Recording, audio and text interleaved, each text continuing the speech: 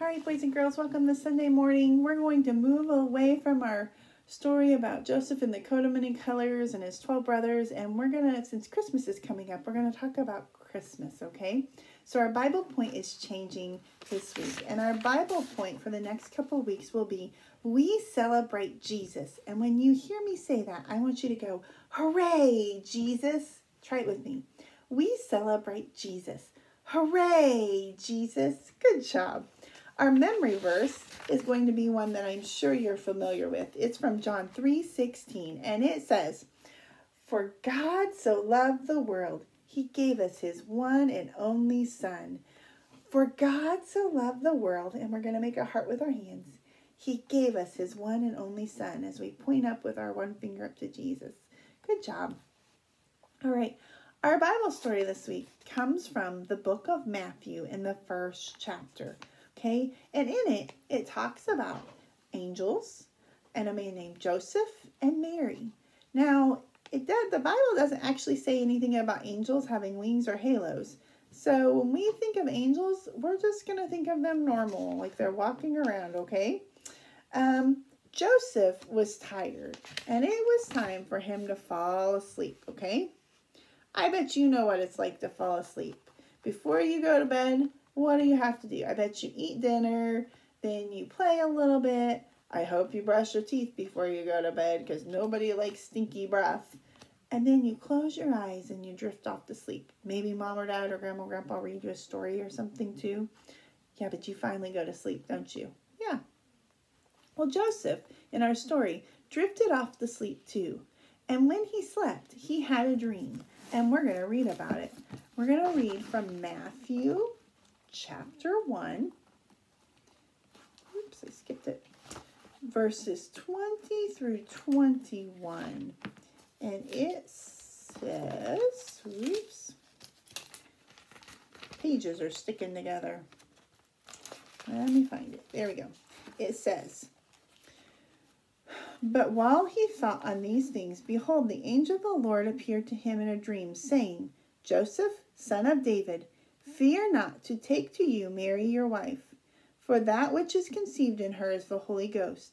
And she shall bring forth a son, and you shall call his name Jesus, for he shall save his people from their sins. Okay, so an angel appeared to Joseph in his dream, and he said, don't be afraid, Joseph. You don't have to worry about anything. I come with a message from God. And because God wasn't going to stay far away from the situation, God was right there with him. Okay? God was with Joseph. And the angels came to tell Joseph, don't be worried about this. In fact, Mary was going to have a baby and he would and God would be with Joseph so close that Joseph could hold his hand and tickle his toes. Imagine that. God with fingers. Whoa. The angel had told Joseph the name of the baby, to name the baby Jesus. The angel also talked about another name for Jesus. Let's read and find out what it is. So Joseph had this dream where an angel came to him and said, Mary's going to have a baby, and it's going to be the Son of God, and you are to call its name Jesus. Wow, that was big news, don't you think? Yeah, so Joseph was going to get to hold God's own son, Jesus, and play with him. Pretty cool, huh? Now, Matthew chapter 1, verses 22 and 23 say, Now all this was done that it might be fulfilled which was spoken of the Lord by the prophet, saying, Behold, a virgin shall be with child, and shall bring forth a son, and they will call his name Emmanuel, which being interpreted is God with us. So the name Emmanuel means God is with us. God would send his son, Jesus, to earth. Jesus is fully God with creator power and love, and also fully human with toes and fingers. He'd need people to help take care of him. Jesus needed a mom, a dad, and a family here on earth. And that's where Joseph came in. Joseph woke up. The angel was gone. Okay, whew, what a dream. Wasn't that quite a dream? All right, Joseph was so surprised he hurried and he stood up and got out of bed. Hmm, what do you think Joseph would do? Do you think he would obey the angel and stay with Mary and take care of the baby? Or do you think he would run away? Well, let's read and find out. In Matthew chapter 1, verse 24, it says, Then Joseph, being raised from sleep, did as the angel of the Lord had told him, and took up to him his wife.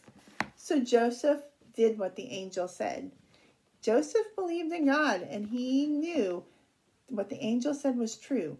So he understood that he could trust God. So Joseph married Mary, and soon they traveled to the town of Bethlehem, and that's where Jesus was born. Jesus had a family now, and Joseph accepted his part in God's plan to show the world his love through Jesus. Whew. Think of think of a time. So Joseph, instead of being scared or worried or unsure about having to raise the Son of God, Jesus, he trusted God and he obeyed him and did what he said. I want you to think about um, a fear or worry that you might have right now. Okay? Then I want you to grab a piece of paper and scrunch it into a worry wad. Just crumble it all up. Did you do it? I hope you did. Okay? And now hold that worry of wad in your hand as I pray, okay? I'm going to pray. So hold that wadded up paper. If you don't have a piece of paper, I'll give you just a minute to go get one, okay? I'm going to get my wadded up paper. I have a piece of paper, and I'm going to put that worry on my paper, and I've wadded it all up. I want you to wad it up and hold it in your hand. Okay. Dear Jesus, thank you for being Emmanuel, God with us. When we are lonely or worried or scared, you're with us. We don't have to face life alone because we have you. In your name, amen. So, boys and girls, I want you to take that worry wad inside your hands. Imagine that Jesus is holding your hand and carrying your worry with you. Pray and talk to Jesus right now. You could tell him that you trust him with your worry and you love him. Did you do it? Give Jesus that worry. Okay, now I want you to open up that paper. Smooth it out, that crumpled up piece of paper, and I want you to say, God is with us. Say that with me. God is with us. Yes. Remember, I want you to always remember, even when we have worries and we're afraid or we're scared or we're not sure what, what to do, God is always with us. And all we have to do is pray to Him and He will be with us and He will help us through that worry or that fear. Because you know what? God is with you and He's with people you love and He's with people all around the world, no matter what. God's presence is a gift to us. All right, boys and girls, I want you to have a great week and remember that no matter what, you can rely on God because He is with us. No matter what, no matter how we're feeling or what's going on, God is with us. So we can celebrate Jesus. Hooray, Jesus, because He is with us.